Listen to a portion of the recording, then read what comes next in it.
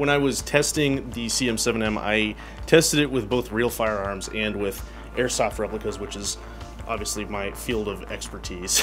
I used it multiple times with the G&G F2000. Now, the F2000 has a much thicker profile for the stock. It's not like your typical kind of slim M4 stock. And I was actually really impressed by how easy it was to get a good cheek weld with this and acquire a sight picture. I think the binocular lenses do help you mimic the way that your eyes actually work. I was able to very quickly acquire the reticle of my, uh, of my optic and get shots onto uh, the targets that I was aiming at.